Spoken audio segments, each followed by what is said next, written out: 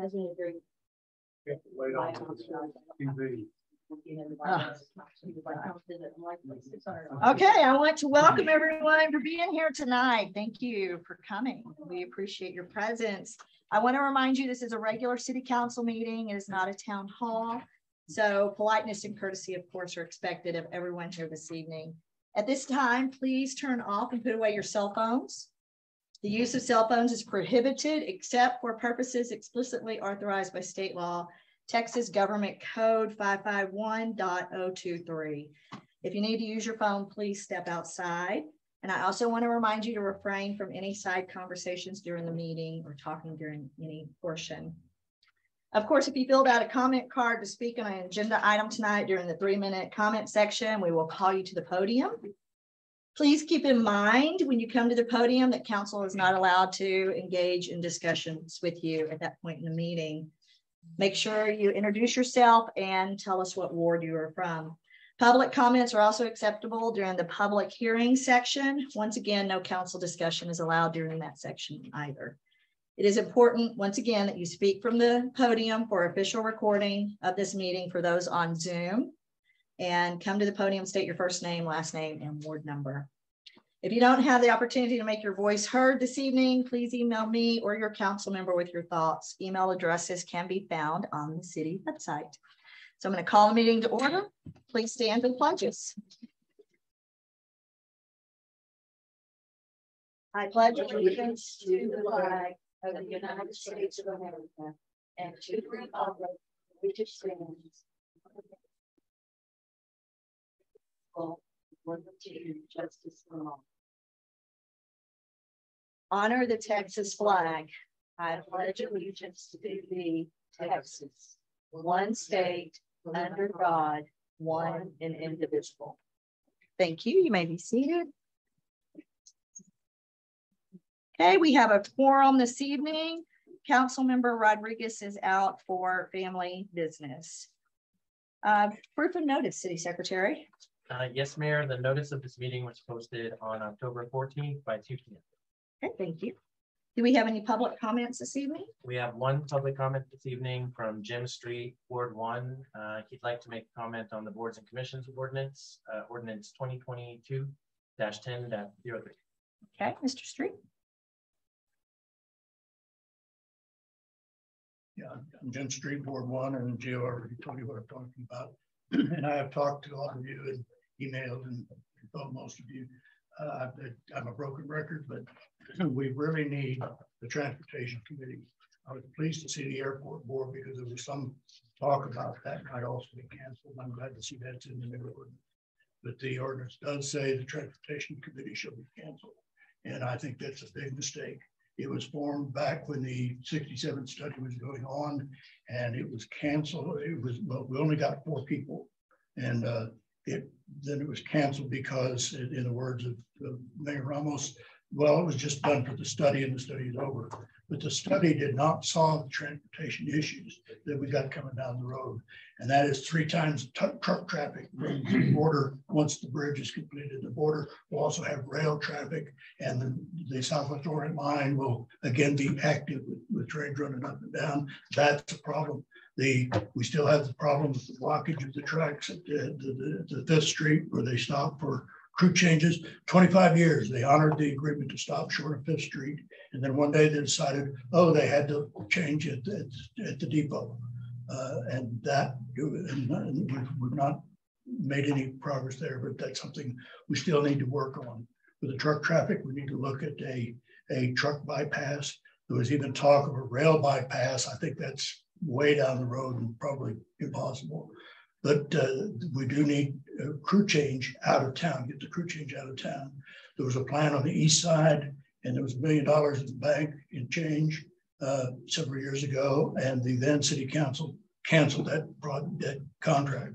There also was a plan for another one east of town. And I was told that was stopped because the animal uh, center was built there. I don't see how that could have interfered with, with having a, a crew change there. But anyway, we don't have it. But if we could get the crew change out of town, that would be very worthwhile. Truck bypass is going to be needed someday in the future. I think there are a lot of issues. I'm more than happy to serve on on that and the airport board. I've got experience in the in in a lot of experience for us. And I have emailed them and talked to all of you about it. So I'm all good, but let's get the transportation committee to get back on there. Thank you very much. Thank you. Thank you. Mayor, I want to give a shout out to my lifelong friend Sarah Bowe and her new husband, Dr. Gluck. May they have many years of matrimonial bliss. Thank you. Yes, indeed. Congratulations. Okay, City Secretary, any other public comments? Uh, that concludes public comments. Okay, good. I have a proclamation this evening for National Friends of Libraries Week. Hey, if I can have representatives come join me.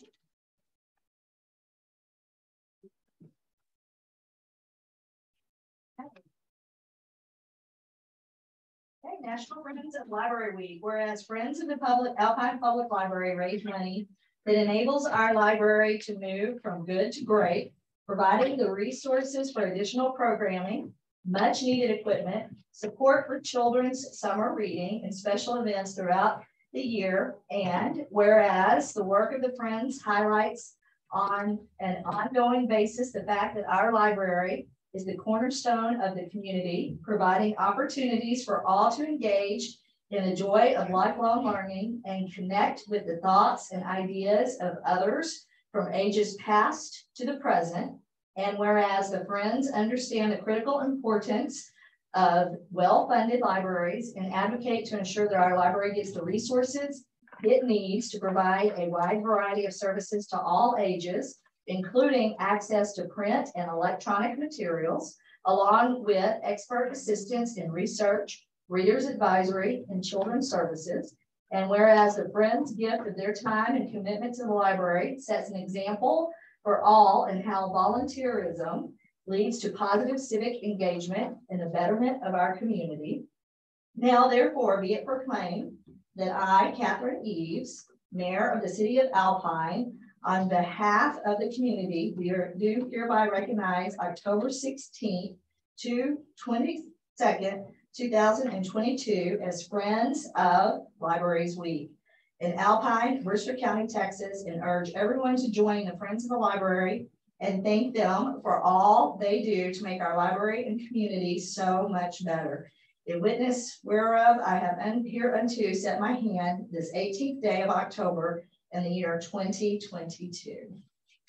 Can we get that? I think up front would be better. but- Okay. We really would like all of you.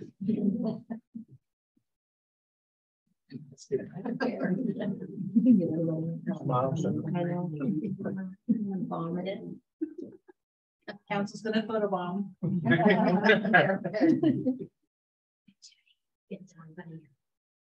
All right, thank you all. Yeah. Thank you. All right. I just want to let you know that the, the president of the library's board of directors and another board member wanted to be here to, uh, for this proclamation, but they're at the library. Oh. They're tutoring, they're doing the, the, the adult education. Okay. right So it never stops. Thank you. Thank you for your service.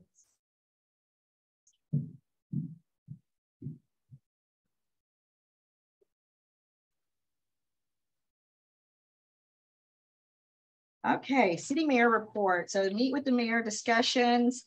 Um, one resident suggested maybe at town hall meetings, we can have a poster for people to rank their favorite to least favorite event or things to support, such as if your favorite is the library to rank it as your favorite, uh, libraries, parks, arts, music, etc. Another resident asked, would partnering with other cities such as Marfa, Fort Davis, and Marathon to raise our collective population and income levels to a position where we could get more upscale stores to come to the area be something that we might want to work toward. So that's something for us to discuss. They suggested clothing stores such as J.C. Penney's and Kohl's. Uh, another one asked, should we partner with the university and do a cost of living survey? And another one suggested that for our city workers, we have an employee of the month for each department, possibly. Winners receive something such as a gift card, an extended lunch period, or a day where they can leave at four instead of five, etc. Upcoming events, the next town hall meeting is sponsored by Councilmember Stokes. It's tomorrow at Alpine Elementary at 6 p.m. And then the next one after that will be Saturday, November 5th at 2 p.m. at the Granada. Please remember, we do have a city radio show. It's called City Talk, and it will be this Thursday, the 20th at 9.05 a.m. And APD and the Visitor Center will present at that radio show. And then the next meet with the mayor will be on Saturday, the 29th at the farmer's market, 1030 to 12.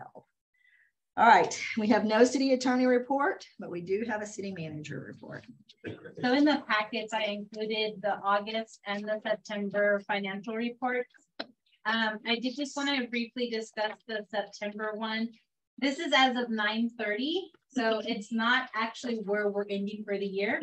We still have accruals. Um, we have utilities that are coming in. We have uh, invoices and POs that you know we ended the year with that we're still paying on. So I kind of wanted to give the public and um, since it was in the packets, I didn't do a presentation um, where we're at. So the general fund um, we budgeted 6.3 million. We brought in 5.5 million as of 930. Um, in revenue expenses, of course, we budget the 6.3 because we do have a balanced budget. And we're at 5.0 uh, million. So based off of the projected year end, we are within that three to 400,000 that would go towards the additional fund balance to move into this fiscal year it is a very projected. I'd love to say I can be on the dot and I can get it exact, but we have those expenses that come in at the end of the fiscal year that we don't necessarily plan for. Um, we know our electric bills average out, you know, so much a, a month, but we do have that one month that may spike. Um, we still have that every now and then purchase that didn't follow policy that we end up with a, an expense that has to be recorded, um, which is why you you've heard me and um, the staff has heard me stop spending after the 15th so that we can see where we're going to be at the end of the year. So overall, the general fund did well. Um, we are projecting to have um, addition to the fund balance. I just can't predict currently what exactly it is until we get the rest of the accrual in. For the wastewater treatment plant, we budgeted 5.8 in revenues and expenses. On revenues, we brought in 5. That's 5,048,653. And we expended 4,832, uh, 504. Once again, there is a little bit of cushion to go towards the net position. We do have some higher um, pending invoices um, with some of the well damage things that still need to be processed. So we still will have a little bit of a net position change, just not as significant as we thought we would. Um, airport, Gotta love them. We actually amended the budget to include additional revenue. Um, the first time in 10 years since I've been with the city, um, they actually are bringing in more money than we anticipated. So we amended the budget to 918,254. Um, they brought in 933,538, still more than what we projected. Megan, is that fuel? That is fuel. So 90% of their budget is fuel. But what comes with fuel revenue is fuel cost. they spent $1,007,377. So they still exceed what they brought in. But I also have to remind the public and, and the council, the fuel that is purchased that last month sits in tanks as inventory. So this is just a revenue expense. It doesn't show you all the asset and liability side as well. So they still do balance out fairly well. Um, the downside to the airport, and you'll hear this throughout the audit process, is they they balance or they'll come slightly under um, the basically they'll use part of their reserves because of depreciation. So unless we keep putting into the airport, everything is depreciating. So that does get reported as part of a, a business like uh, account, but they're still doing well. Um, the hot fund, um, we budgeted 879,000 in revenues and expenses.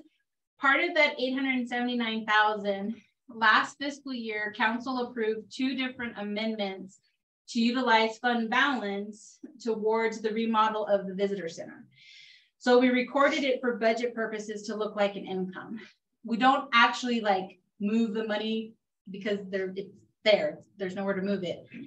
Um, so ideally they should have brought in about 600, 625,000 in just hot funds.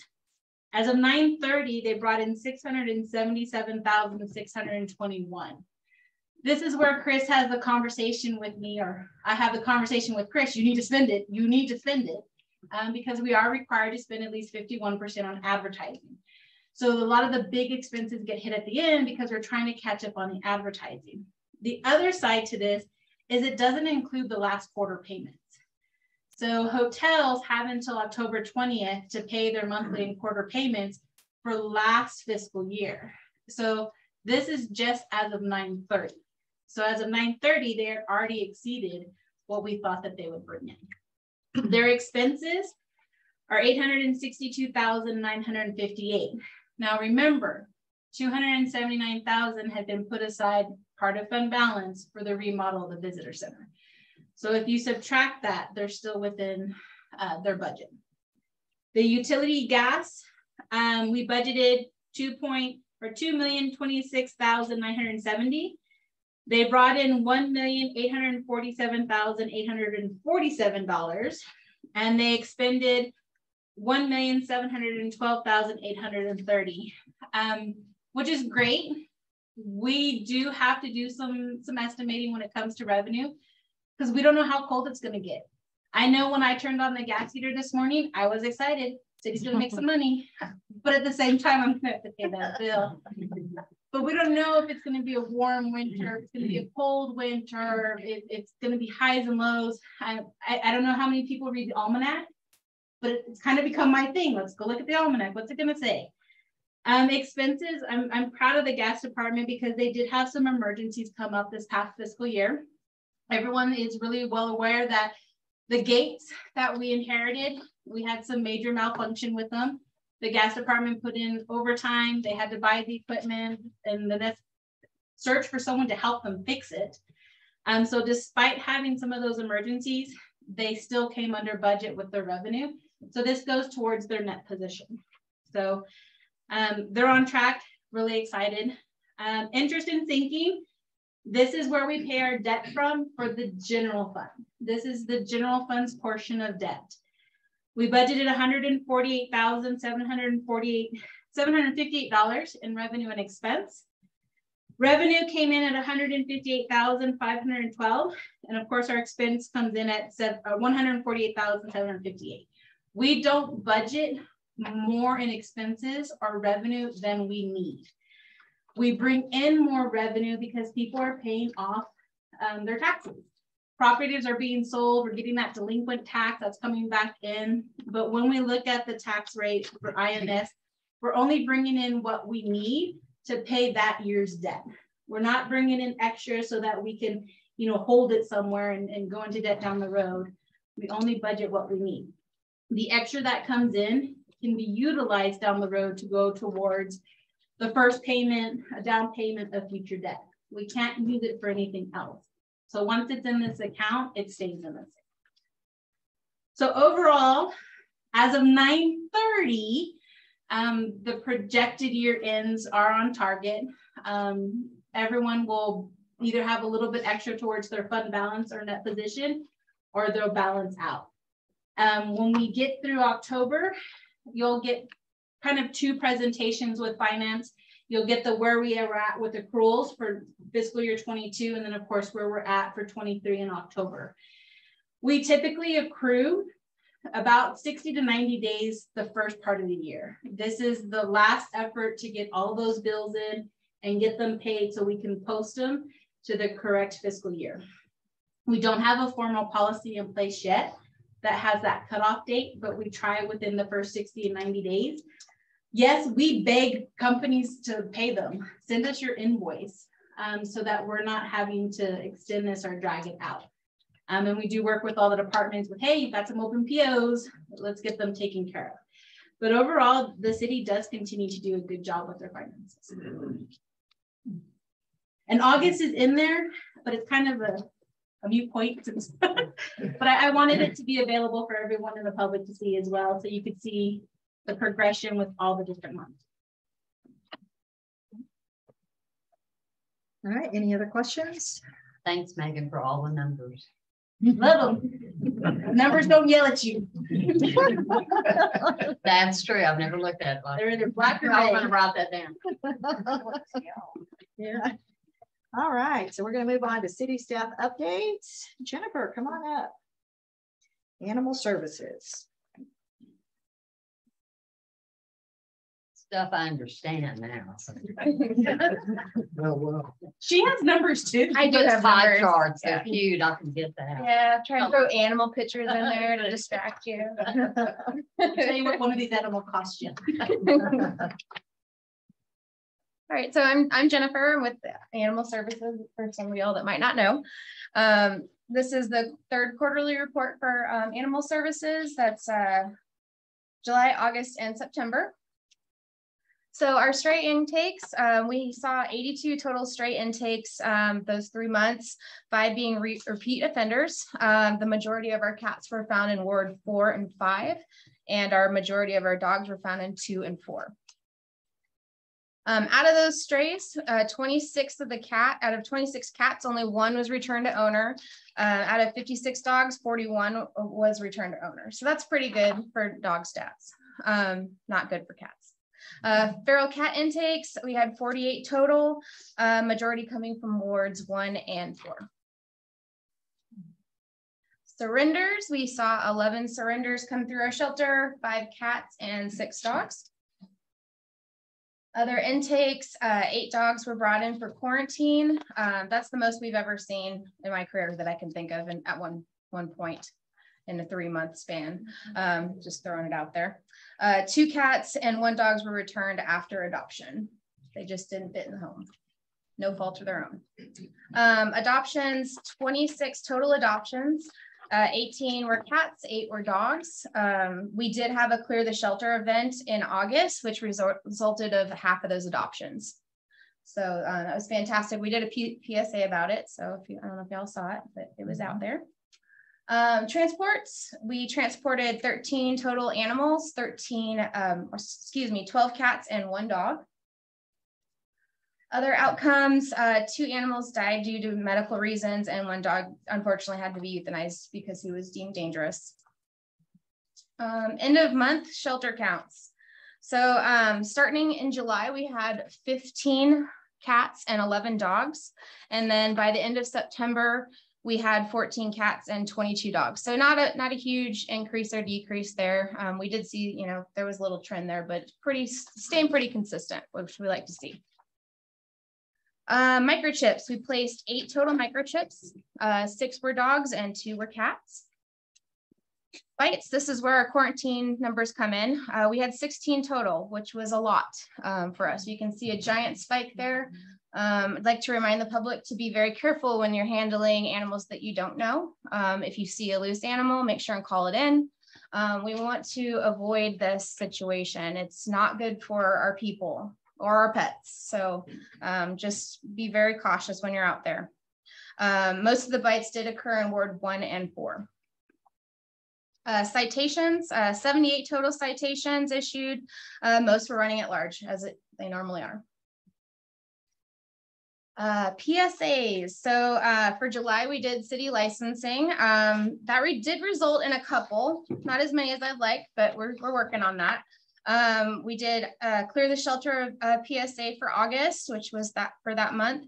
And September uh, was a PSA for rehoming. Um, I can tell you today, I even, I had three or four people call about rehoming.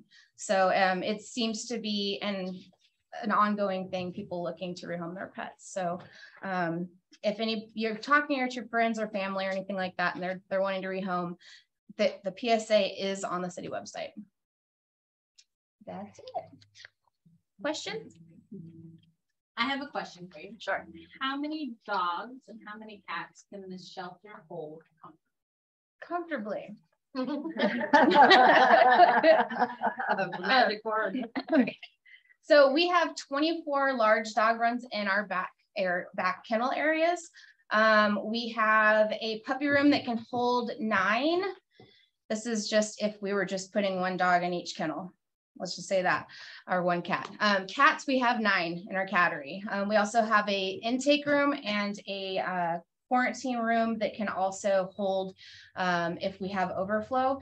I can tell you that at times we have stacked cats in, in wire crates temporarily um, when we had a lot. Kitten season is a thing. So um, we don't have a ton of room.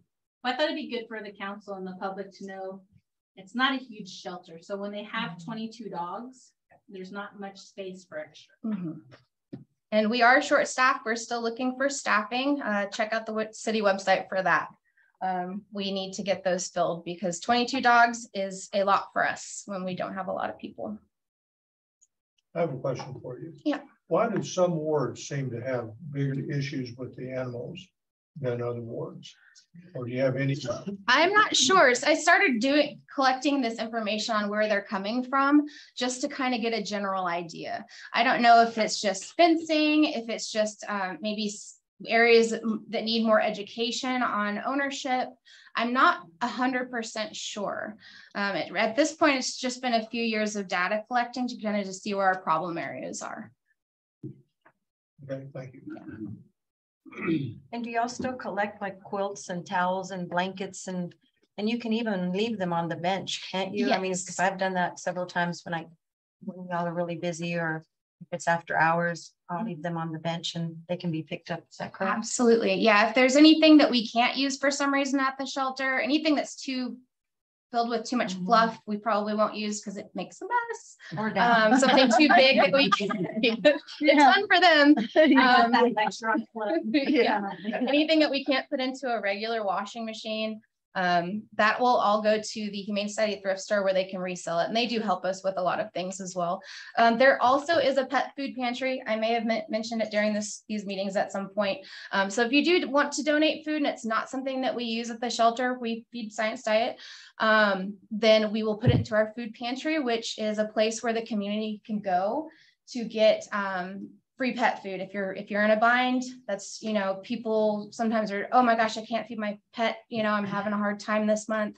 I got to I got to take it back to the shelter. I got to take it into the shelter. Um, this is kind of helping those type of people out um, to hopefully keep their pets in their homes. It is So- expensive. It is expensive. Pet food is very expensive. So And is the pet food pantry at your location? it's not, we do um, house our overflow and our storage unit out there, but we actually have it um, at the Humane Society. Um, they have an office space that's right there on Fifth Street, right across from the elementary school. And that is on the website. On our website, I'm not sure, but I will put it there. Thank you for that. It's probably in the news feed. We just need to update and move it back to the front. So it's okay. Anything else? All right, thank you. All right. Thanks. Jen. We'll see you next time. Thank you. Thank you. Thank you. You. Okay, next up, Heather, Visitor Center Report.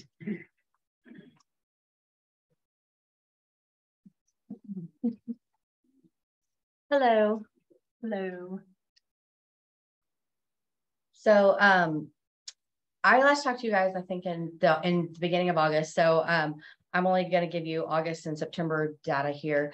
Um, we really saw um, a lot more visitors this August come through the visitor center uh, compared to last year. So uh, 413 compared to 190 the year prior.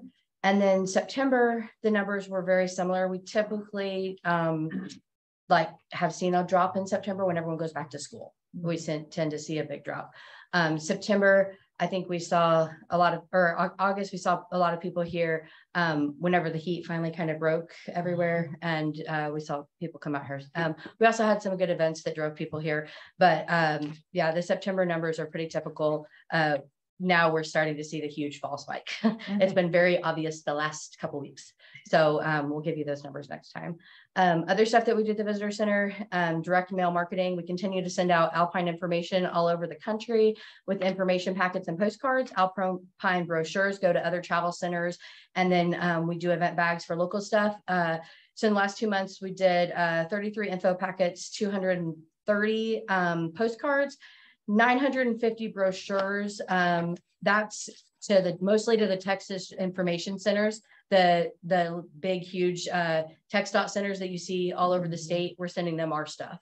Um, our largest one that takes the most stuff is always Langtry, which is going to be on 90. So as people head on 90 this way, um, they pick up a lot of Alpine stuff. They actually put together an entire Big Bend packet at that visitor center because they go through so much stuff. Um, but uh, I had in there that the 950 brochures did not include the state fair, but actually theirs kept getting sent back. So um, our stuff will make it to the state fair on Saturday when I go there.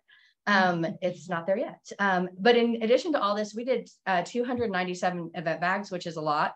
Um, we and then we did even more just already at the beginning of this month. So we've been doing a lot of event bags for uh, different things. Uh, Ranch Rodeo uh, had a had a bunch. Uh, did some for uh, I can't even remember now. What the sorry. Uh, no, so basically the way we designate if they're going to get an event bag or if they're going to, if I'm going to set up on site, if they get the event bags, it's because they have uh, designated attendees. So if it's like a conference that people sign up for, uh, oh, I know what all of them were for. The uh, bird conference that was here in the, that's what all of them were for. I just remembered. Um, but uh, that, uh, or Native Plant Society, that's what it was. Plant I gave them a bunch of bird stuff because I figured they'd like that. But um, if they, they knew who all was coming. So they all signed up for that event. They, Big Bend Ranch Rodeo, we're giving them all of the event bags for the actual people who are in the rodeo. And then I set up on site for things like the Bluegrass Festival where anyone can walk up and buy a ticket. Um, so that's the difference in between if we do an event bag or if I'm on site. Because um, if I if I already have given them event bags, then me being on site is kind of like basically just the same information again. Of course, they get my added personality to tell them all about it, but um, it would be basically giving them the same information. So um, moving on, visit Alpine on location. Uh, these are some of the places that I was. Um, the Big Bend Ranch Rodeo, uh, it's held every August and Alpine raises funds for the Sul Ross Rodeo Scholarships. It's a two-day event that brings 16 teams from all over the country to Alpine for the weekend. The teams have anywhere from four to six members, and most of them travel with their families. So it does bring in a lot of out-of-town visitors. We did the event bags for the participants. Um, and then I was on site Friday evening to give out information because again, we don't know who else going to come just actually watch the rodeo. So I was there on Friday night. Um, Miss Comanche Springs, uh, sweetheart Loretta, she's from Fort Stockton. She was there and hung out at the tent and passed out stuff too. Um, and then the next thing that I did was in August, uh, Fiesta 1888. That was with the Tejano legends, Ruben Ramos and Little Joe headlining this event that brought thousands of people to historic Murphy Street. Um, the foot traffic during the day when I was there with vendors and the classic car show was light, but people started coming to like claim their spots later on as the concert times got closer. Um, and because this was the first year for Fiesta 1888 to be in this format, um, we I will I will for sure was not I wasn't sure what to expect from it. Um, but as the night went on, um, there was just more and more people. In terms of um, getting people to Alpine, it was definitely a success. So um, we were there. Uh, I went during the day, left for a little bit, and then went back at night, and it was just a complete change in the entire environment from from day to night. So um, then the Sul Ross uh, State University Rodeo. Uh, Sul Ross is the birthplace of college rodeo. It hosts the largest college rodeo in the country every September. Uh, this year, they had approximately 100 entries uh, with athletes and their families coming to cheer them on. Um, the rodeo is also a great event for visitors to the area. We have a lot of visitors who don't know that they're here when the rodeo is happening, but are very excited to go see one. Um, I had the Visit Alpine's uh, tent on site Friday during the daytime slack competition and Friday evening for the nightly performances. So, um, and they are, uh, we also had commercials that ran this year because it was on the, uh, they they carried the rodeo on the on the Cowboy Channel, and um, out Visit Alpine had commercials, uh, and then they had to so to be carried on the Cowboy Channel, they had to have a certain number of local businesses do commercials too. So there was us and Sul Ross, and then there was local businesses that had commercials that aired during the entire event. Um, so anybody could watch it from anywhere. Um, and then use of the pavilion, uh, we have somebody that asked to host a poetry slam. Um, it's been held now, uh, this says twice, but actually it would have been just this yesterday. Um, I don't know if they met though, because it's it was raining and I have no idea if they were there or not, but um, they aren't drawing big crowds, but both times I've received really good visit, uh, feedback from visitors who, who went to it, like people from out of the area. Um, they really enjoyed it. So uh, it's just every third Monday um, out there and it's poetry or music or whatever anybody wants to do. Um, like I said, the, the nice thing about the pavilion and the bathroom space is that they can have it there without us being there. Cause again, I did not make it on, on a Monday night is not, uh, I, it's hard for me with my child in school. now, so I was not there. Um, then uh, upcoming stuff that we have going on. Uh, so the, the Texas Heritage Trail booth at the state fair is um, the only statewide travel exhibit at the state fair and Alpine will be the featured day this Saturday on Saturday, October 22nd. So it's staffed by the Texas Heritage Trail Region personnel and then partners, which would be us.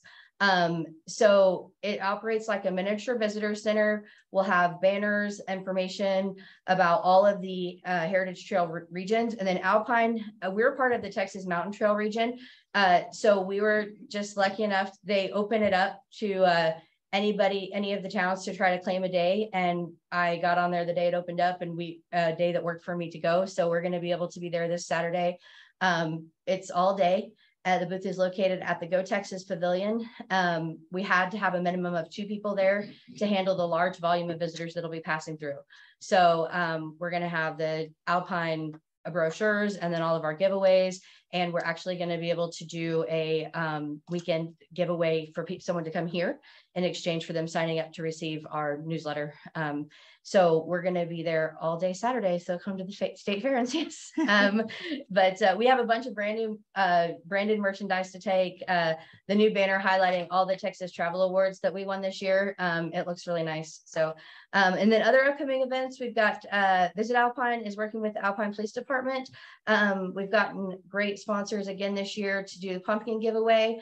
Uh, last year we did it at the school, but this year with the visitor center um, having the pavilion completed, we're going to do it there. So that will be uh, Saturday, October 29th from 11 to 3 at the visitor center.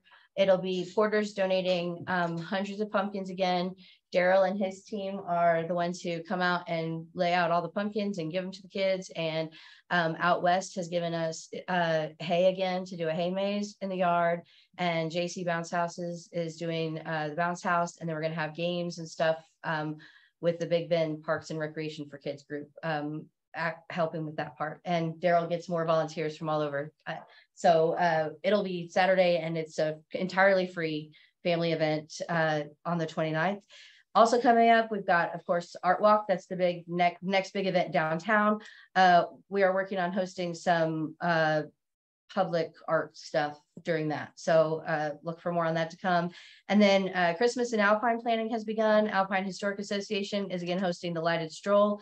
And uh, we are working with uh, hopefully the library and some different people to do the events at the old schoolhouse again. Last year I did painting at the schoolhouse and we're going to do that again. We have music booked. So um, the rest of the stroll is like chorus stuff, but we're hoping ours is going to be more like everybody sing along kids songs since we're doing the kids event at the schoolhouse. So um, we're getting started on all of that too. So that's what, what I have what coming up. That? That's going to be, that'll be the third, um, December 3rd. It's the first weekend um, of December and it will, Sul Ross is doing their tree lighting a little bit earlier in the week, but then they're going to relight that night just like they did because they want to have it, it'll finish, uh, everything finishes up there with the big concert. So, and that's all the, um, their, their, uh, director, music director puts all the musicians together and brings them all in from all over for that. So any questions? Thanks, Thank you. Have fun at the state fair. I Yeah. will. It's gonna be interesting. And I can't wait, I can't wait to see it. So. Get a corridor. Okay, Chris, tourism quarterly report. Uh, hello, uh, I'm Chris Ruggia, your Director of Tourism. So this is our quarterly report for the last quarter of our fiscal year. So if I get that next slide. As Megan mentioned, as of September 30th, we had collected $677,000 in hotel occupancy tax funds. And as she also said, October is a, is a big wave of collection. So we are expecting over 725,000, which would be our second year ever to break that $700,000 mark. So that's, that's a good year. Um, next slide. Uh, I wanted to show you a few of the ad campaigns we've recently done. as uh, Heather mentioned, uh, Alpine won seven Texas Travel Awards. So we decided to use that as a hook for some campaigns. So uh, between print and digital uh, ads, we ran with Texas Monthly, AAA Texas Explorer, Austin Monthly, San Antonio Magazine, and Texas Music Magazine, and those things are still are still going on. Uh, we're also doing a, a, giveaway contest with with uh, Austin Monthly, San Antonio, and Texas Music. That's one company that through all those channels, we're collecting email addresses for our newsletter, and we're giving away uh, two nights and and two dinners uh, for the winner. So next slide. We also uh, we are on ongoing basis doing our co-op advertising with Marfa and Fort Davis. Uh, these are great partners. Marfa in particular has been really game for anything we want to do. Abby over uh, Abby Boyd, my counterpart there, really easy to work with, really smart and uh, and uh, enthusiastic about working with Alpine. And so that's been great. This is a, uh, so on the left, that is an advertorial that focuses on lodging in Alpine and Marfa that is uh, formatted like a magazine feature that's running in Texas Monthly. And then on the right is a partnership with the Big Bend Film Commission, who uh, at the end of the month will be at the Austin Film Festival. And so I've worked with their director for a few years now, uh, doing coming up with ideas for how to market to the filmmakers who come to suggest Alpine as a place to come and film. And so this year we we made a this is a fake movie poster basically. So uh, so we made little award uh, award icons that just talk about all the things that are good about this area for filmmakers. And it also includes our, our lodging rebate, which uh, uh, we have $5,000 budgeted out of promotion of the arts but I spoke to Justin Bragiel at Texas Hotel Lodging Association, and I haven't told Megan this yet, so I'm telling you. Uh, and so he told me that uh, because we're using this uh, the rebate as an anchor for advertising, we can use advertising dollars to fund it. So if we get more if we happen to be lucky enough to get more films coming, then we have budgeted a promotion of the arts. We aren't limited by that 15% cap. So we can. He's telling me that we're going to meet the 51%, not yes. worry about the others. Exactly. uh, but I, I, think we will. But uh, let's see. So then uh, different media placements we've had, as Heather mentioned, the Cowboy Channel carried the Sul Ross Rodeo. And uh, rodeo coach CJ Aragon told me that they reported over 210,000 views. Uh, I, am assuming that's through the web, or they wouldn't. I don't know how they track it otherwise uh, over cable or something. Oh, yeah, it was paid per. Oh well, dang. Okay then. Uh, uh, we also had uh, some really good coverage in Texas highways. On the the page you're seeing is their events page. Uh, totally unexpected. They called out the Big Bend Bluegrass Festival, gave them well over two thirds of a page uh, for the first Big Bend Bluegrass Festival. There was also a, a column about visiting the Big Bend that actually had a lengthy write up about the Alpine Public Library that the visitor had stopped in there. Um, let's see, the story of art in America is an Amazon Prime TV show that approached, they approached the Big Bend Arts Council which they had found through the Texas Commission on the Arts, because Alpine is uh, most about downtown Alpine is a designated cultural arts district. And this is a, a TV show that uh, focuses on different kind of out of the way places and the artists there. And they wanted to come to Alpine. And so we had a Zoom meeting of the Jan Muller of the Arts Council asked me to uh, talk to them, you know, join them. And so uh, I ran it by Megan, and there was a uh, you know a co-production kind of sponsorship dollars that wasn't that high that we were able to do out of last fiscal year towards advertising towards that 51%. So that's gonna happen. It, it should film in next spring. And so uh, in the next couple of months, we'll be having a committee together with the Arts Council to talk about what uh, a slate of potential interview, you know, artists for them to profile, and then they'll select from the group that that we send to them. And so they'll do profiles on five or six artists trying to give the representation of of the, the arts in Alpine. So that's pretty nice. Uh, True West Magazine for the second time uh, has named the Museum of the Big Bend one of the top 10 Western museums. So that was nice. And then this is this quarter, but I just found out about it. I was uh, talking with the Brian Schroeder at Center for Big Studies. And he said, "Oh, did you see the New Yorker?" I said, "Well, no." Uh, and they, I don't, I can't, I don't have that much time to read, so I, I don't, I don't read every week the New Yorker. But this is most of the media that I've talked that I tend to talk to you about is state media. We we most of our visitors are in state.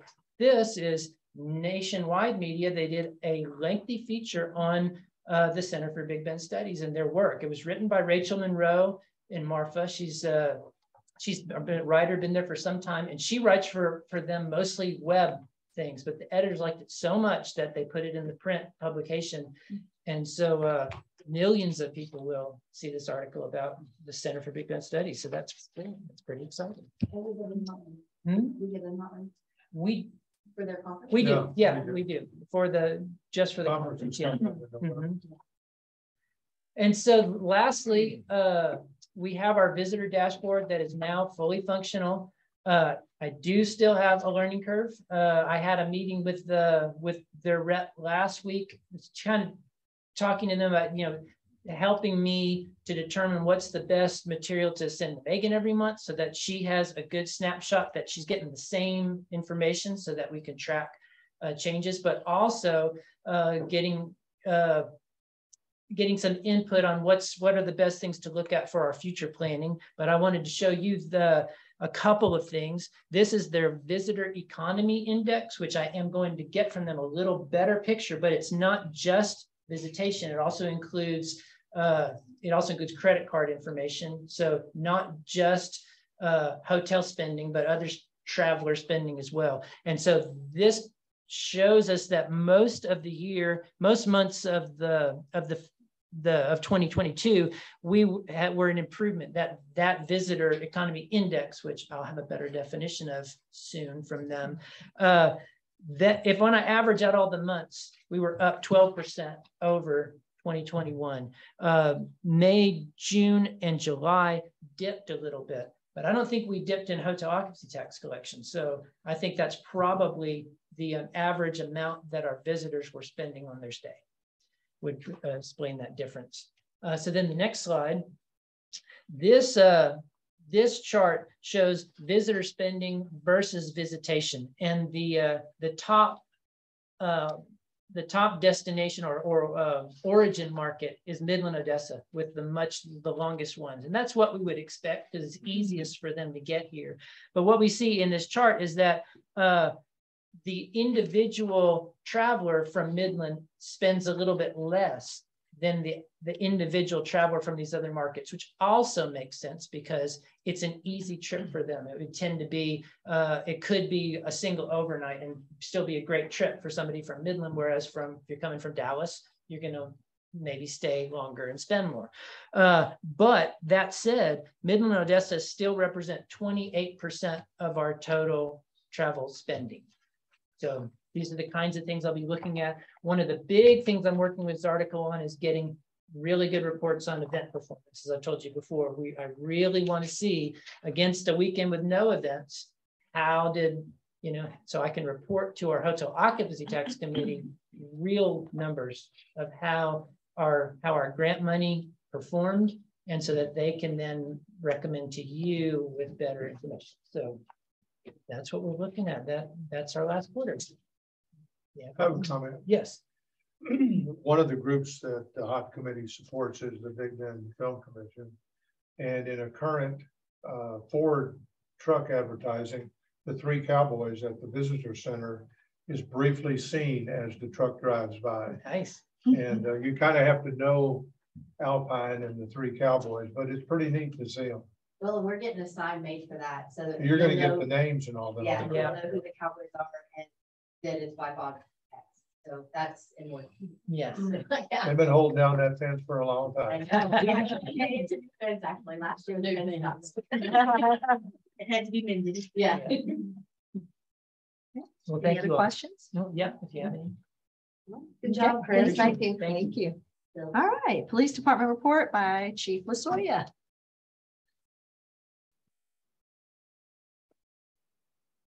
Good evening, everyone. Hello to the crowd. Um, here to uh, make my presentation. Just go right into it. Um, starting tomorrow, we have our uh, our Zuzu Verk Memorial Walk and Vigil. We start at the university and we'll work our way down from Sul Ross uh, down to the courthouse gazebo. Uh, Friday, this past Friday was the memorial, uh, the six year uh, anniversary of, of her being reported missing.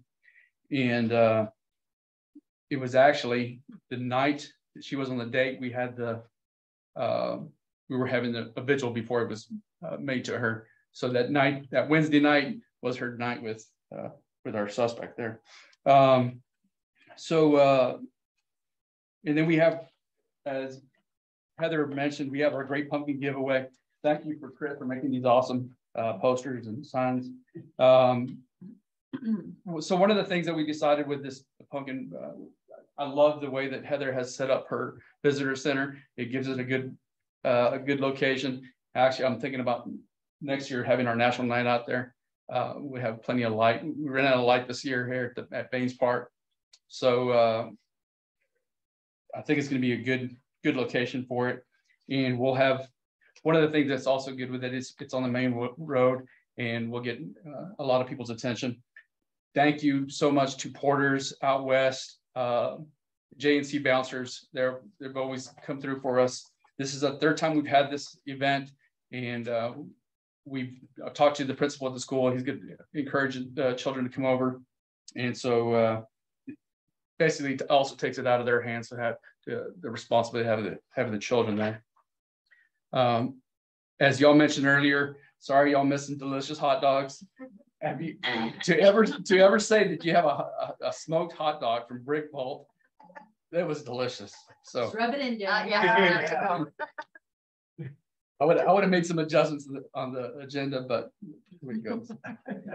um, and uh, again, thank you to Porters um, for their donations, the Fianis family, Skelton's Runway, uh, JNC Bouncers again, and of course, Brick Vault.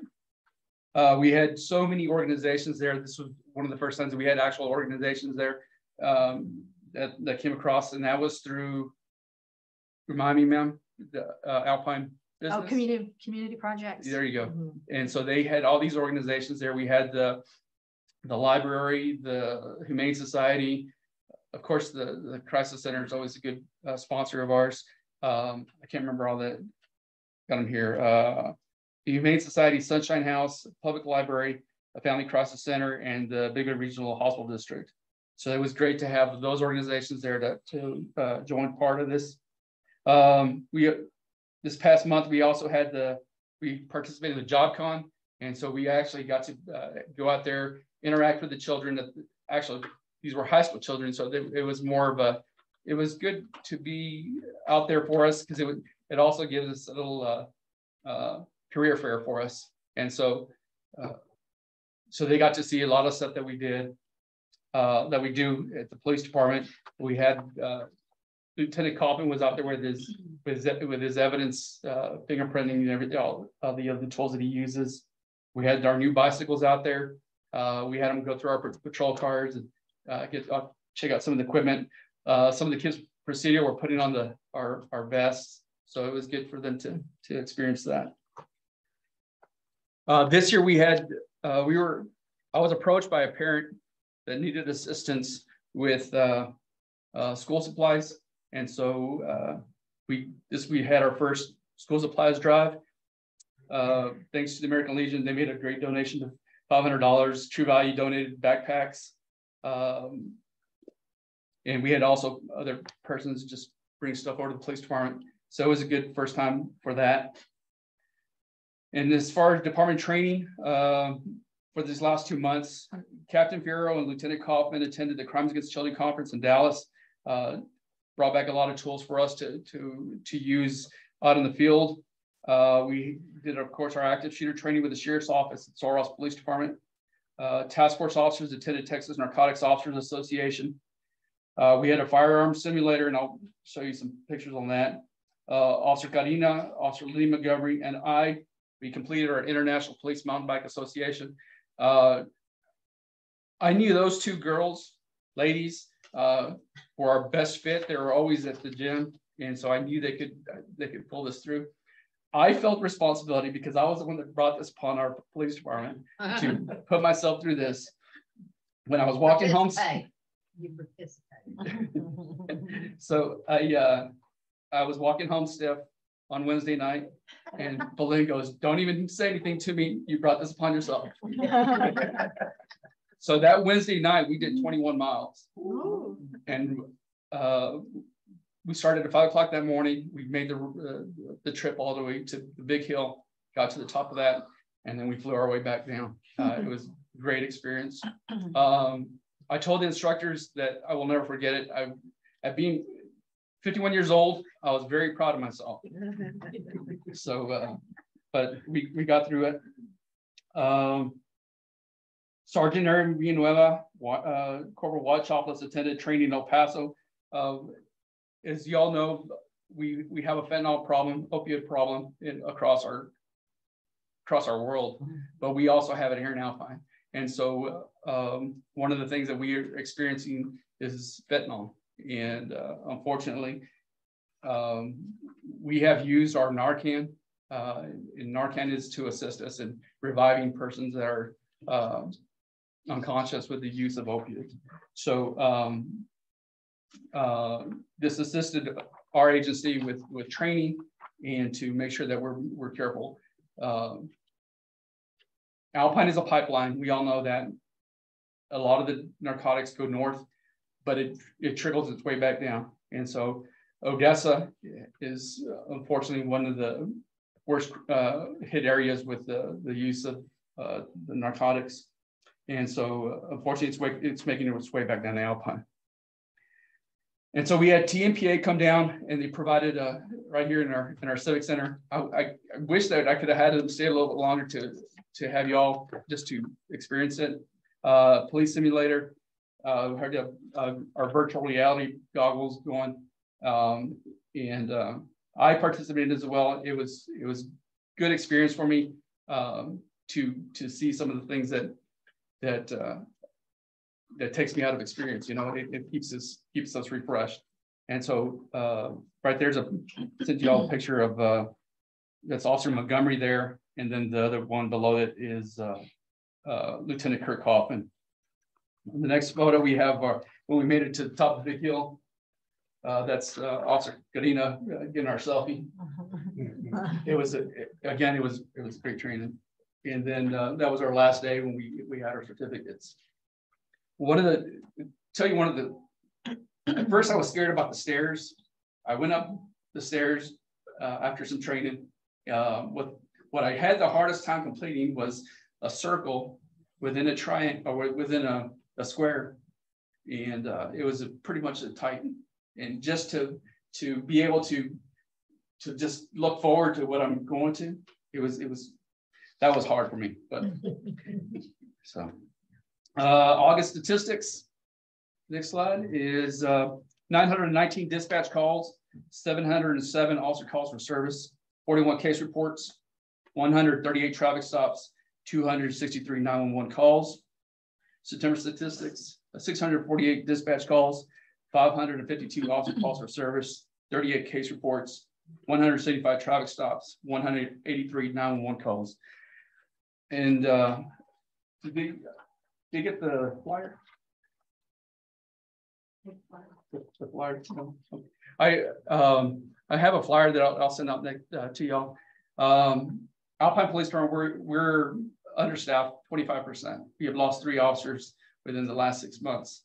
And uh, um, it's a flyer tied to for recruiting. We're, we're going to be going to El Paso Community College to hit their academy again.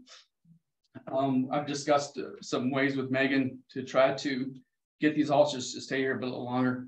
And uh, we also we're teaching at the University Academy, and uh, they have a good group of officers. It looks like we're going to be high. right now. We have looks like we're going to have one hired, uh, depending on he how he does on his on his final on his state exam. so uh, again, we're down more than twenty five percent, and uh, so I encourage anybody that if Sul Ross has a good uh, law enforcement academy. If you ever, ever want to go through the academy, they currently have uh, a 75 year old attending the academy, and Wow. uh, he's doing pretty well. Wow. So, That's and good. Never um, too late. So there's It's never hope too for me, yeah. Well, that guy Certainly. played Football up there, when he was seventy. Right, uh, there was, uh, they made the movie on Yeah. the senior. So, uh, I encourage, uh, Sheriff Dodson and I, we, we kind of joke around. Um, but, uh, yeah, we're, all agencies across Texas are in desperate need. But here in Alpine, we are a small community. It, it- it's hard to draw people down to Alpine to stay in Alpine. And s- one of the things that helps us out is trying to stay local, trying to keep them with family. And so that does help us out. Uh, Made me stick around for twenty-eight years, so. So, uh, any questions? Please, uh, uh, I always have an open door. Uh, y'all are more than welcome to come talk to me. Okay, Thank y'all. thank you. Thank you. Okay, next up, gas department. Indy, come on up.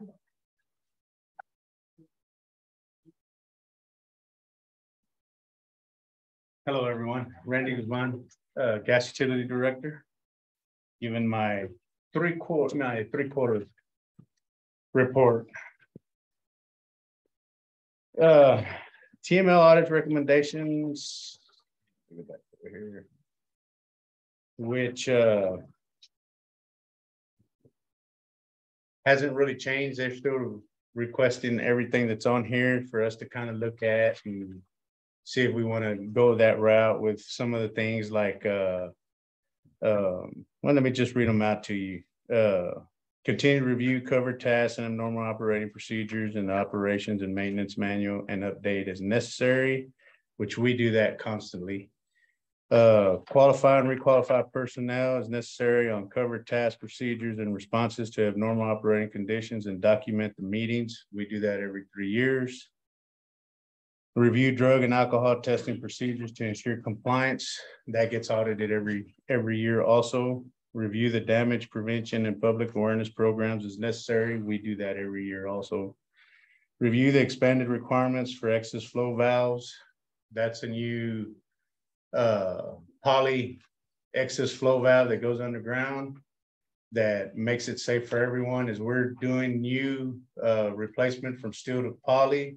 We install those at all service lines so that it- what it does is if it ever gets run over, a meter gets run over, it actually stops the gas under, underground. Gives us time to go over there, do the repair above ground, and then it'll re-energize itself to full pressure again. So very, very nice little thing there that Railroad Commission came up with to make it safe for everybody. Uh, review the distribution integrity management plan annually and update as necessary. Uh, DIMP records must be kept for ten years. We've got all those records, even from the corporation, so we'll never get rid of those records. It is also recommended the operator consider purchasing a remote methane leak detector, RMLD, to reduce the cost of repeated leak surveys and improve emergency responses. That would be nice if we could do that one day. The equipment runs anywhere from twenty-five to thirty-five thousand dollars, but you buy once, you get the, the recalibration system. We could do our own leak surveys every year, probably for four years. I would like to do three years and then bring an outsource that we do it every year anyway. So it could save a little bit of money and then it would save itself. Uh, we would save money uh, by not doing it every year with the outsource. And it would pay for the equipment within time. Uh, it is also recommended that the operator consider purchasing, well, I read that, sorry. Systems should also be inspected to ensure adequate protection from atmospheric corrosion. That's every day, that's continuing surveillance. Uh, TML audits, twenty nineteen through twenty twenty-two. Uh, we're still pending on the twenty twenty-two. Uh, it came a little late this year. We usually get that audit around May. Uh, the person that was doing it for many years passed away. Uh, so they had to recruit someone that knew kind of the ropes on how to do it. And he just came actually last month, so that's why it's pending. Uh, he said there was no problems. We've been hitting the nineties, upper nineties. I'm pretty sure we'll get the upper nineties again. as Soon as we get that back. Uh, twenty twenty-two leak survey, it hasn't changed much. Uh, all those are still pending. Uh, but no, no grade leaks. Everything, the grade ones, grade twos, which are, grade ones need to be repaired immediately. Grade twos, we've got six months to do them. All we have is grade threes. So we're currently working on all of them. Uh, next, we go to the twenty twenty-two Fort Davis DIMP progress. We've already completed all the DIMP. Uh, the distribution integrity management, uh, program for Fort Davis is completed. And then we're currently working on the, the, the one for Fort Davis. As you can see, our goal for this year was thirty-seven services. Uh, we've already removed and replaced eighteen of those thirty-seven. We've got three right now in progress. Which will leave sixteen pending and we have to the end of December to complete. So hopefully if the rain slows down a little bit, we can get back on them. Uh, Alpine Distribution System, quick review, uh, just kind of what we're about. The city of Alpine provides natural gas to the citizens of Alpine and Fort Davis. The city of Alpine operates seventy-three miles of main, of which fifty-eight miles are located in Alpine, fifteen miles in Fort Davis. That's a lot of miles of gas lines. The city of Alpine has implemented a distribution facility replacement program in accordance with the Texas Administrative Code Rule eight point two oh nine, which is the replacement, which that's DIMP. That's where we had to come up with the DIMP program. In accordance with the TAC eight point two oh nine, the city of Alpine will replace thirty-seven services of Alpine and six services in Fort Davis, which Fort Davis has already been completed. So uh, everything looks good for, for the year. Everything is probably three quarters of the way done. Uh, I don't foresee any issues. The new DIMP plan, which will come in March. Once we enter all these numbers of what we've done for the year. Uh, the way DIMP works is on the risk model is everything as we're doing, it actually brings down the numbers. As long as there's no problems like uh, vehicle hits on meters, that goes into the, the plan. Excavation hits for people not calling eight one one, not getting locate tickets, digging illegally. Uh, those kind of things go into the risk model, which will then change wherever we're having to do the work. Uh, so that's it on the DIMP and on what we do and where we're at. Uh, the other thing that was brought up on our, uh, gas loss, uh, just so that we let everyone know, uh, we're at a half percent gas loss for the year. I forecast that we would be at a negative after the next few months. Uh, it kind of fluctuates. Half a percent, it's not a whole lot, not to worry about. It's not like gas is just going everywhere. I think the issue that we had for some of this gas loss was when we had those issues when we were losing the regulators uh, back in January and February, we had to go on bypass. So to me, it just didn't register through the, through the meters because it was going directly into our distribution system. But like I said, half a percent, normally every year, we're always at a negative, so we really don't have a whole lot of gas loss. The only time that I would see that we would need to worry about our gas loss, uh, according to Texas Railroad Commission standards, is if we go above five percent. And we've never, never gotten that close, so. The system's good, the system keeps getting better as we keep working on it, so just. Rest assured, you've got a crew out there that's doing what they need to do, and we're gonna continue doing it to keep the, the community safe. So do y'all have any questions? Thank you, Randy. I just have two comments. First, thanks again for this gas loss report. I Brings back memories of the old. Uh, days, the old days. Yes, sir. Yes, sir. And these numbers we have to provide, uh, for, for those that don't know, these, these numbers are, are calculated every month. Uh, when we go through our, uh, audits with the feds, the PHMSA seventy-one hundred, they request the yearly. And of course, we have to submit that form, which is a, uh, EIA one seventy-six. So they get these numbers every, that's how they keep track. It's not just because we came up with numbers, these have to go to, to the railroad commission and the feds, so. Then I want to thank you for, I don't know if gassing is the right word, but mowing the weeds in front of the post office. Oh, no, you're very welcome. I, I know that we use it going back and forth. I got tired of seeing the weeds this high in the front there. So I mowed it down for everybody that uses it here across the street. And I just continued with the whole thing afterwards. And he got stuck. And I got stuck. Yes, I did. The riding mower, uh, man, I couldn't believe how muddy it was. And unfortunately, like I said, the weeds were this tall. And I was going real, real good on my riding mower and all of a sudden it just, I was just sitting there and wheels just spinning a wow. So yeah, but no, it, it's all mowed. It's all nice and clean. So. All righty. Well, Anybody else? Any other questions, comments? Okay, well, y'all have a good Thank you. evening. Thank you.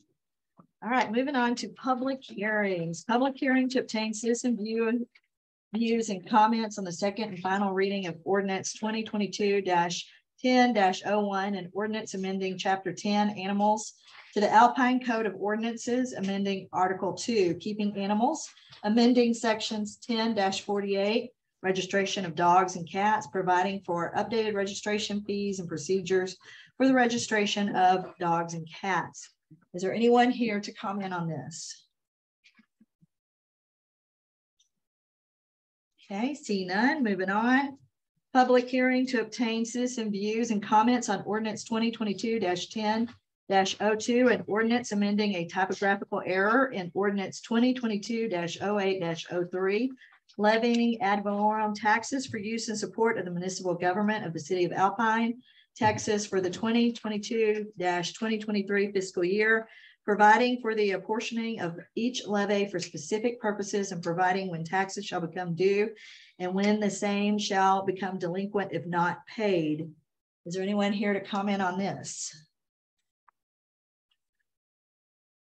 Okay, seeing none, moving on to consent agenda. City Secretary. Thank you, Mayor. Tonight's consent agenda has two items. Item one, approval of October fourth, twenty twenty-two regular meeting minutes. And item two, approval of the fourth quarter investment. Okay, I need a motion. A motion to approve the uh, consent agenda as presented. Thank you. I need a second. Second. Okay, let's vote. All in favor, raise your right hand. Okay, passes unanimously. All right, no information or discussion items. Let's move on to action items. City manager. The first one is approved the second and final reading of ordinance 2022-10-01, and ordinance amending chapter ten, animals to the Alpine Code of Ordinances, amending article two, keeping animals, sorry, keeping animals, amending section ten forty-eight, registration of dogs and cats, providing for updated registration fees and procedures for the registration of dogs and cats. And I was asked to provide a little information before you guys motion and vote. Um, this, for the public who may not have seen the packets that are online, um, the main portion of this that's been amended is the registration fee. It is an increase of a $3 annual renewal fee. So they're just increasing the registration fee for both altered and unaltered pets. Okay, I need a motion. I'll make a motion to approve the second and final reading of ordinance 2022-10-01. Okay, I need a second. Discussion? Okay, see none, let's vote. All in favor, raise your right hand. Okay, passes unanimously. Moving on to action item number two, city manager. Approve the first and final reading of ordinance twenty twenty-two ten 2 and ordinance amending a typographical error in ordinance twenty twenty-two 8 3 levying ad valorem taxes for use in support of the municipal government of the city of Alpine, Texas for the 2022-2023 fiscal year, providing for apportioning of each levy for specific purposes and providing when taxes shall become due and when the same shall become delinquent. A little background information. Um, when the tax office was about to send out all of their tax notices, um, they realized that our ordinance didn't quite add up. Um, we went through and double checked. Um, a zero was accidentally left off on the I&S rate of 0.035701. All of the backup and supporting documentation was correct. The intention for the I&S rate was to include that zero. Unfortunately, when I typed up the actual ordinance, um, that zero just got left out.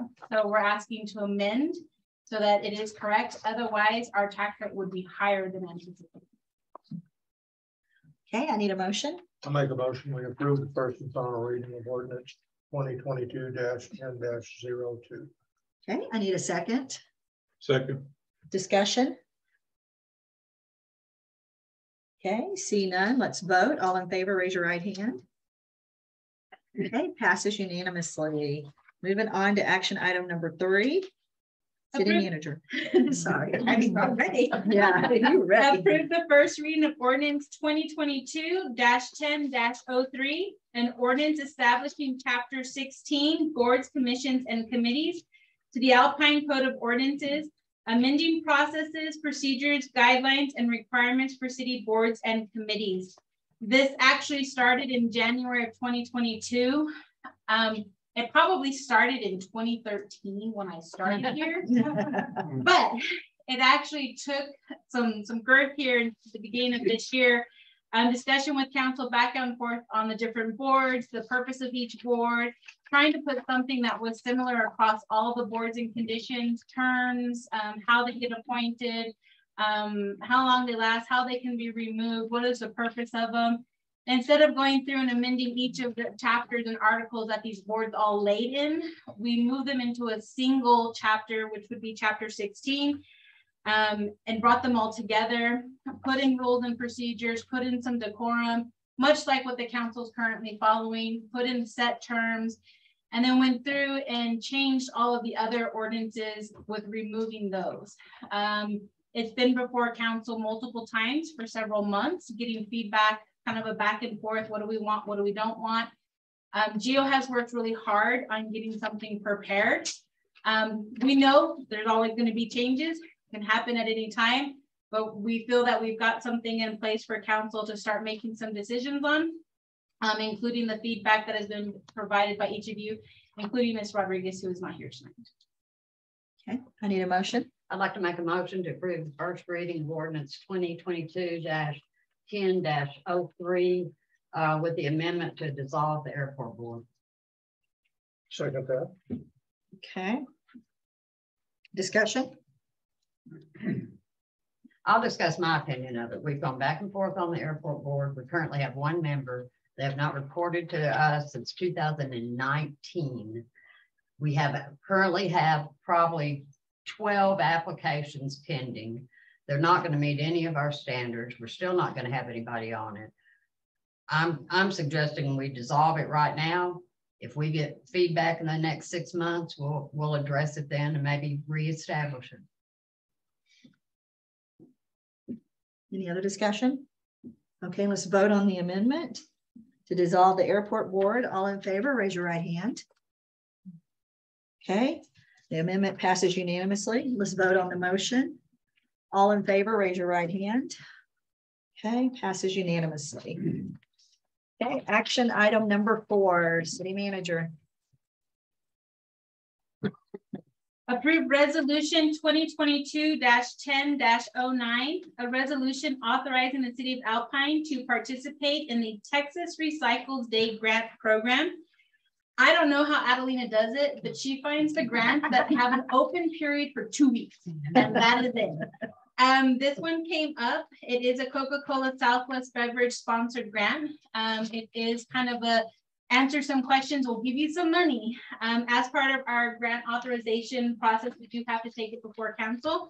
Adelina is looking at obtaining some 18 gallon curbside recycling bins with the appropriate stickers on the side of those bins, which would indicate what should go in the bin, as well as city logo.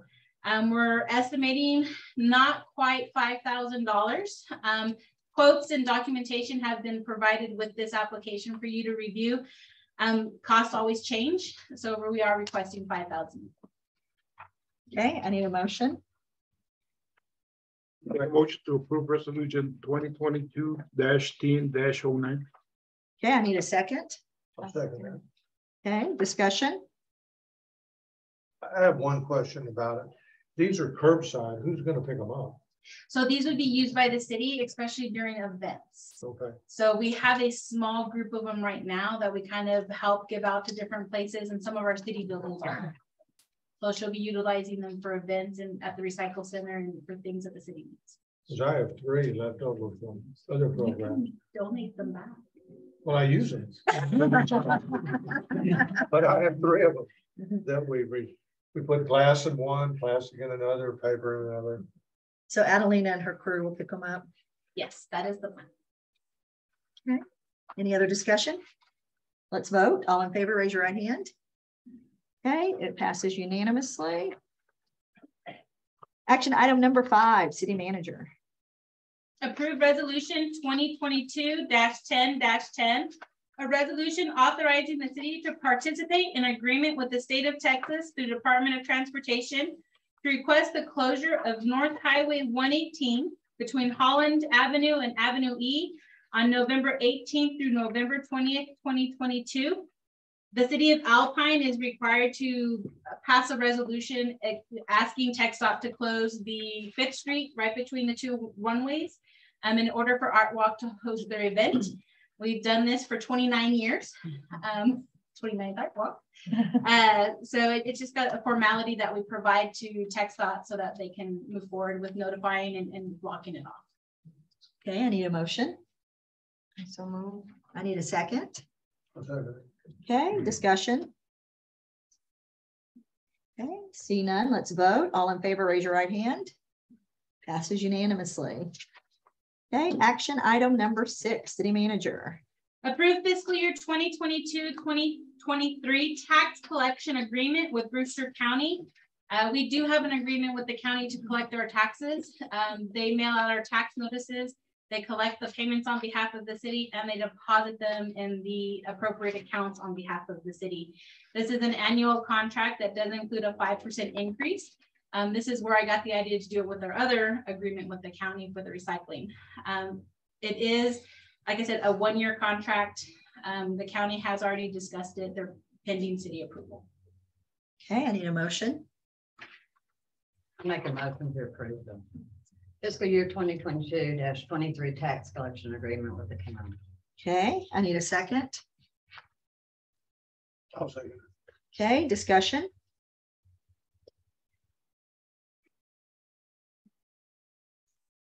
All right, see none, let's vote. All in favor, raise your right hand.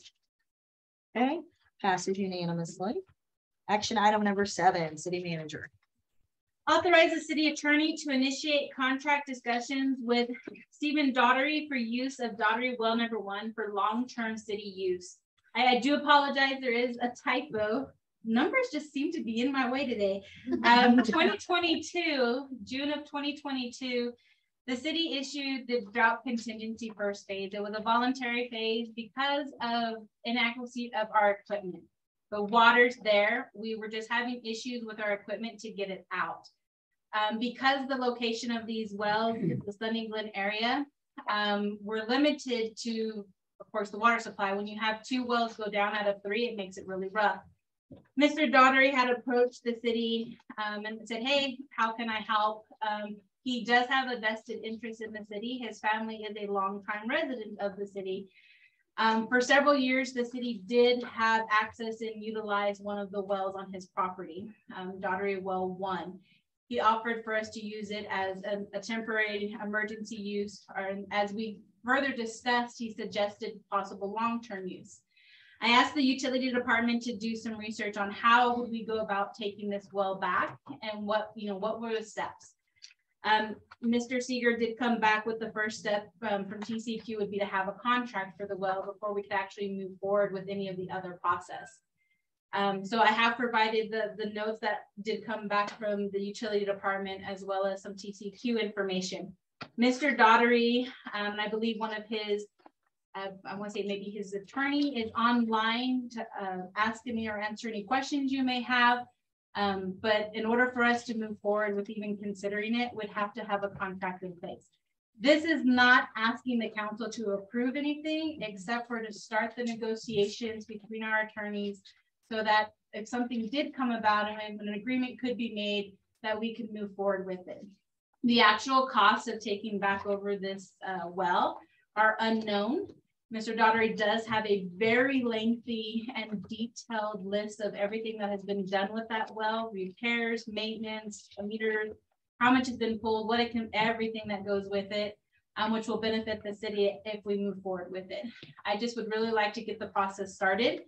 It has been brought before council um, on several occasions. Um, we can't move water from Mooskies over to this side of town. Love to, you've got some horsepower out there, but we don't have it over here. Um, down the road, the city will need to look at how do we bring in our own wells. But for right now, this will give the Roberts wells a rest so that we can get them up and running to the level they need to be. Um, just like a car, your engine wears out over time. Those wells are running out. Okay, I need a motion. I'd make the motion to approve the city attorney to initiate con- contract discussions with Stephen Daughtery for use of Daughtery Well One for long-term city use. Okay, I need a second. I'll second it. Okay, discussion. I don't have any discussions. I have a comment. Thank, thank the Daughteries for stepping up and doing this because they didn't have to. I, I think it's wonderful that they're willing to help out the city that we all love, so. Mm-hmm. Especially wanted with to something as big as water. Uh, they actually did want to speak, so. Okay, all right, sure, go ahead. Uh, yes, good evening, uh, Mayor and City Council members. My name is Sam Ballard. I'm an attorney and, uh, represent Dr. Stephen Daugherty. He was just here online just a moment ago and had prepared some comments for City Council, but, uh, he just messaged me that his computer unexpectedly had an update. So he's not available to, to provide his comments. Uh, but I have some uh, that I can share with city council. Glad to hear that the city council is, uh, sounds like uh, going to uh, vote to approve us entering into lease negotiations. Just some history about the well to share with the city uh, and its productivity. Uh, so Dr. Daugherty's father actually strategically chose a location for uh, this well back in 1953 as an irrigation well. Uh, he pumped as much as 500 gallons per minute for irrigation at that time. And then through 1955 through 1958, uh, the well actually provided approximately half of the city's groundwater. At that time, uh, the Daughertys and the city had a lease in place. Uh, and actually, back in 1955 and 1956, uh, there was documented production of about 106 million gallons per year. Uh, and then the lease at that time had expired. Uh, again, the Daughertys and the city had entered into another long-term lease from 1965 to 2005. Uh, and during that time, the well averaged uh, production of about 43 million gallons of water per year for the city. And if we uh, can reach uh, a long-term lease with the city, which I'm, I'm sure that we can, uh, Dr. Daugherty plans to dedicate production from his number one well for the city for public water supply, and then he plans to use his other wells for his own irrigation purposes. So um, he would definitely be uh, accommodating the, the city in that respect. Uh, right now, he is permitted by the Brewster County Groundwater Conservation District uh, to produce about 97 million gallons of water per year uh, from that well. We have already started discussions with the Groundwater Conservation District about amending his permit to allow for city use of this well. So we've already gotten the ball rolling uh, and have a path forward on getting uh, the district permitting all squared away. Uh, and we're uh, really excited about the opportunity to work with the city again. Uh, the Dohertys have always had a, a, really good relationship with the city, and uh, he looks forward to maintaining that relationship uh, going forward. So uh, happy to try to answer any questions that y'all might have, and thank you all for your time this evening. Oh, and Dr. Doherty's back. So, uh, Dr. Doherty, I, I, just provided your comments for you, but uh, do you have anything else you'd like to add? I apologize. My, my computer decided to update on me. I'm back. Um, this well provided more than half of Alpine's water from 1955 through 1958. And uh, then a lot of Alpine's water from 1965 through 2005 uh, as much as 106 million gallons of water a year.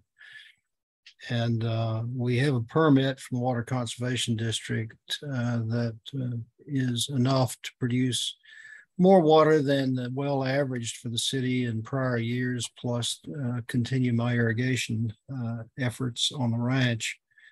We average 43 million gallons of water a year for the city during the years for which we have data. 27 out of the uh, 48 years, I believe, out of the 43 years. So it's a lot of water we have been able to provide. I can use my other wells for irrigation and devote this number one well, which has been such a great producer to the city if we reach a deal. Thank you. Dr. Daugherty, I think you were off when I commented. I would just want to thank you and your family for stepping up for Alpine. You stepped up for years of me growing up and now to sit up here and be able to to approve this this happening again i feel very privileged. Thank you.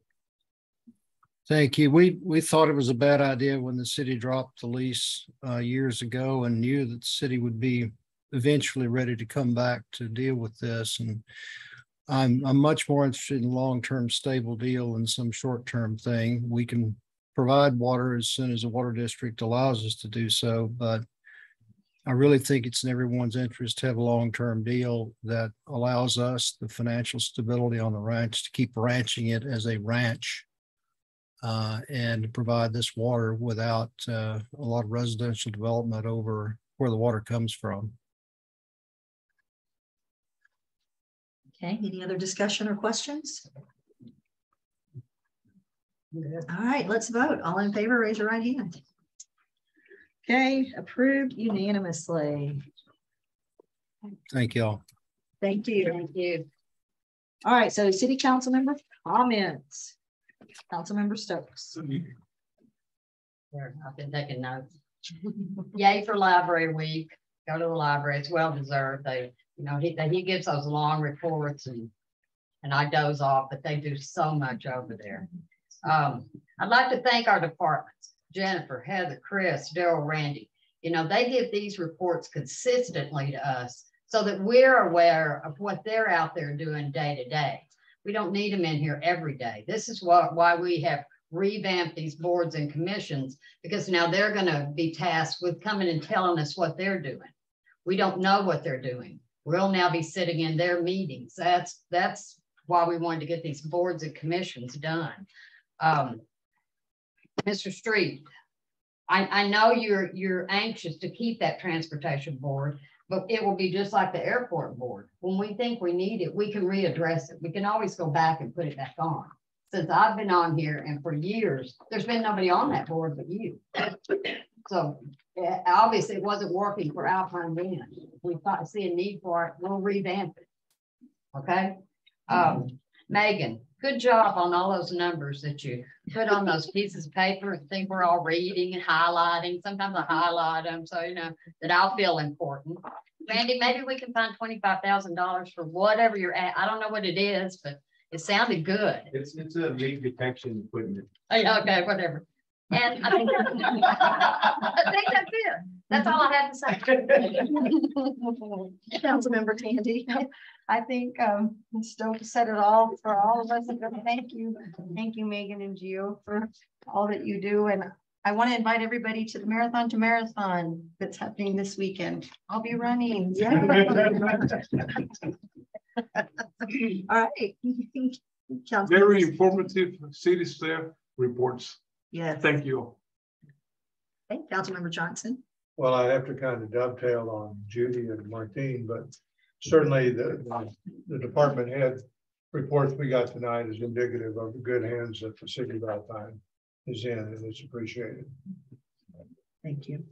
And I'm the same. I think Judy said it all. Thank you, department heads, directors. Thank you for the, the presentations that you give us, for keeping us updated. We appreciate it. Thank you for all the hard work to all of our city employees. And You need to start down here the next time, and then Judy won't. Yeah, I know. I think we'll do that. You're in numerical order and I'm in Ward one.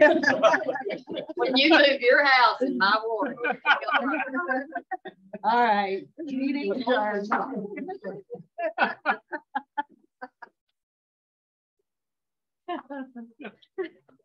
Carol?